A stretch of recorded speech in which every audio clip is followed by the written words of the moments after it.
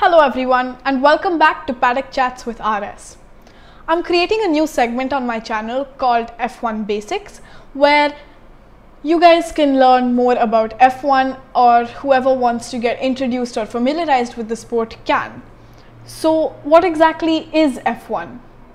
Formula 1 or F1 is the highest level of single seat racing cars.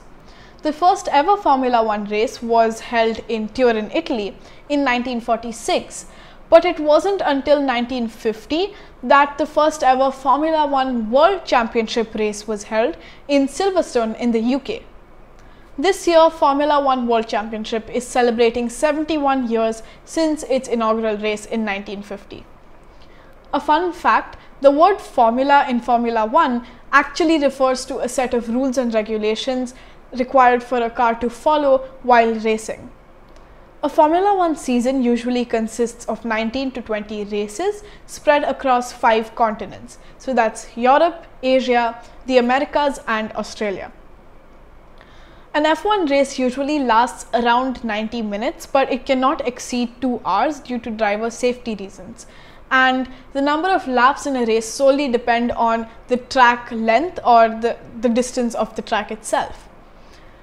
Currently, Formula One has 10 teams and 2 drivers per team. So that means there can't be more than 20 drivers or 20 cars racing in one race.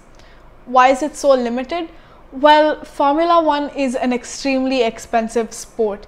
It requires just a lot of money just to build the car, just to manufacture the car, and also to tune and market and you need a lot of money to get into the sport as a driver or even if you want to start your own team. Everything is spoken in terms of billions. So there you have it. That is the basics of what is F1. And don't worry, I will be coming up with more in-depth stuff too as the number of points in a race and how, how many races do you need to win a world championship or the flags or even the rules and regulations of the race. So stay tuned for that everyone. I hope you enjoyed this one. Thank you.